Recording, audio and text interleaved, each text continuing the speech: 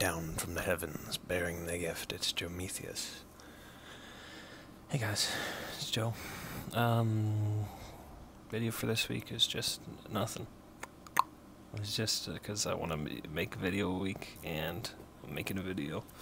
And at the moment, I'm just waiting for my laptop to boot up so I can do my homework because I got to do two drafts of an essay today and a whole other draft of an essay tomorrow. So I don't really have time to do nothing, but